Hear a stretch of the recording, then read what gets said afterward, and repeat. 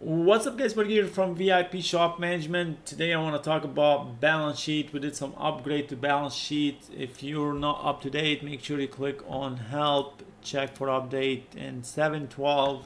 We added some new features, some cool features. We're gonna check it out. Let's go to the balance sheet and go to balance sheet right here. Uh, I think I added this long time ago, which is you can delete all the, if you made a mistake or something you want to delete all this you can delete all these items and start all over again. The way balance sheet works for the new customers is go to monthly expenses add every uh, expense especially the recurring expense like rent uh, electric bill water bill and all that. And once you add in the beauty of that uh, to do every month basically auto populate so if we're doing June we gotta auto populate and fills everything automatically. You're supposed to do the month after it's finished.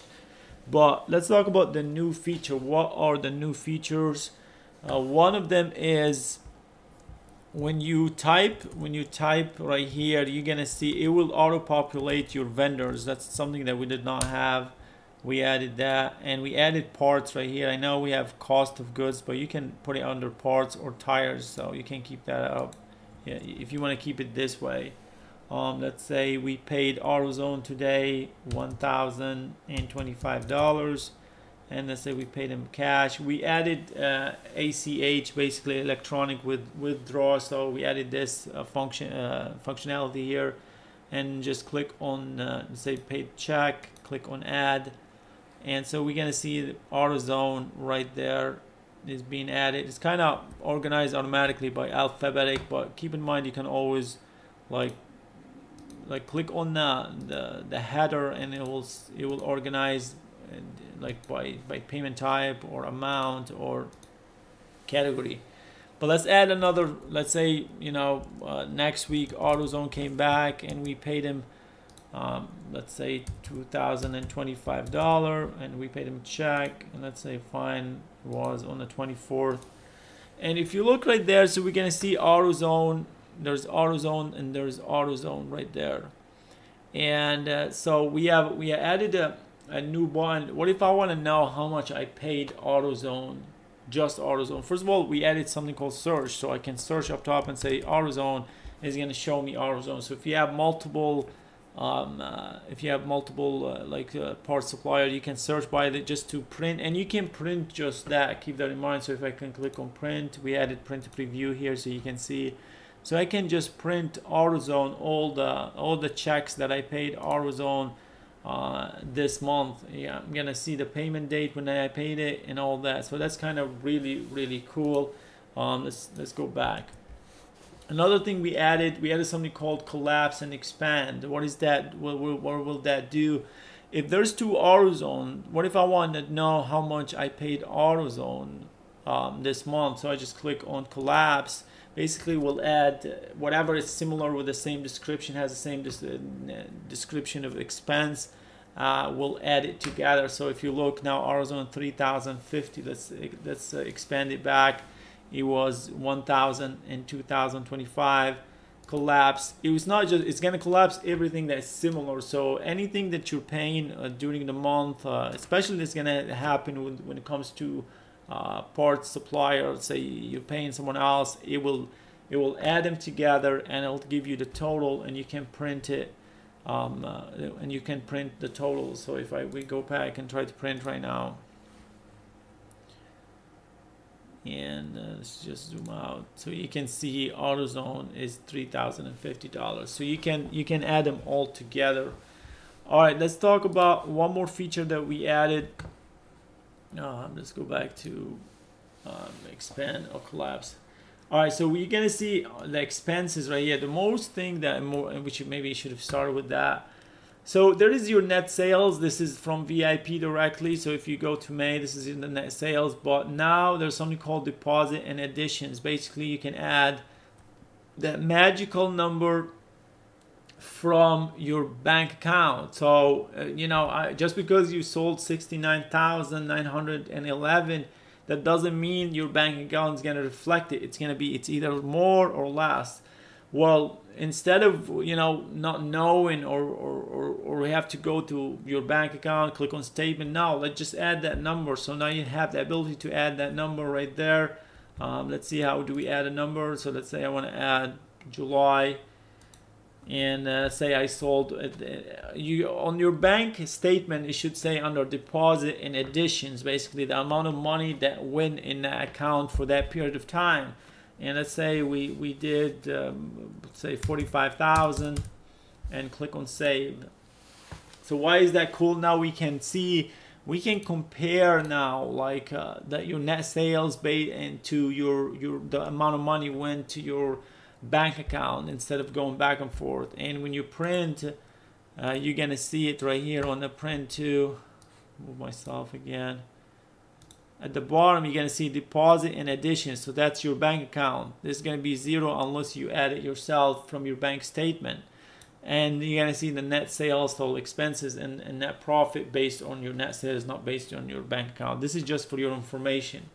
Another thing we added is uh, cash card and ACH and check. So now we can definitely compare whatever we have in expenses uh, to the bank account if you're obviously if you're adding everything. But now we, we, we're gonna see it's automatically calculated the cash uh, the amount of money that's the amount of expenses that uh, we're expending cash card or electronic withdrawal or check.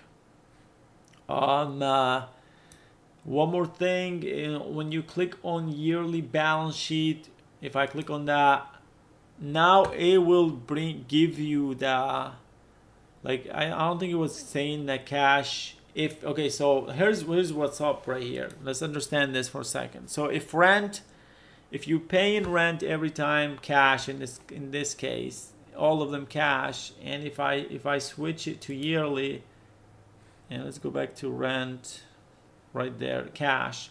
So as long as you're paying them the same way it will tell you well it's $15,600 in cash if it's cash and credit it will it will give you the three dashes that mean it was different than cash and credit i'm talking about only yearly uh, the point of the whole yearly is i'd like to know how much i spend on rent the whole year I'd like, I'd like to know how much I spend on VIP shop management the whole year. I'd like to know how, how much I spend it on DTE the whole year. So that's the whole year. And let's try to print it out, see how that look like. And zoom out. So that's that's the expenses. I mean you can again we all our job is to prepare you for uh, for the taxes to to to give it to your accountant or if you're doing your own taxes uh, instead of doing the calculator yourself we want to add this stuff for you. So if you look on rent um, you're gonna see rent right there. You spend $15,600 so it adds everything together based on the, the same description name. If the, if it cannot add it together, then it, it keeps it as a single item. So um, what else? Another thing which is really important. What if I wanna what if I wanna do um, I want to see, let's say I'm filing my taxes myself because when you, when you file for taxes, it's not going to say water bill, it's going to say utilities. So what if I want to get the, the numbers, these numbers for utilities? I want to know how much did I spend on utilities. Yep, you can do that. Just switch right there from description to category and you're going to see right there. So you can actually do your own taxes if you want. So utilities is 7,800. So you can plug this number directly.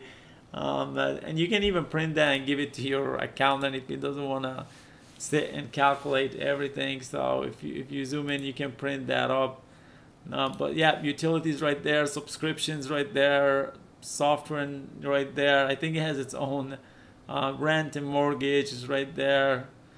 Uh, parts, advertisements right there. So it's really cool. That's why we have we have we've always had that category, but we never uh, used it. Now, so just switch, expand, and collapse. You can do that for the whole year, or you can do it for the for the month itself if you have to. So. Um, what else want to talk about? That's it for today. Um, so yeah, those those are really cool stuff. Um, we added. What happened to my camera? All right, we added. All right, so the next thing that I'm gonna be working on is um, tech hours. I've been um, not like I haven't gave this much attention from from the beginning, and we definitely want to give it some attention. Uh, tracking tech hours. I'm talking about um, right as right now, like you know, paid invoices. It's only based on paid invoices. We're gonna give uh, a second option. It's gonna be based on paid invoices and or based on completed jobs. So basically, we're gonna give you the option to pay the, your technician. Um, your technician let's say if this is this is not if the customer have not picked it up but the, he, the technician finished the job so we're going to give you a status somewhere right here say here he did finish the job so that the technician can get paid for that so that hopefully uh, we're going to start on this uh, pretty soon start um, uh, fixing this and giving you more options right here when it comes to technician hours go back to the daily report technician hours um, yep so, anyway, until next time, thanks for watching.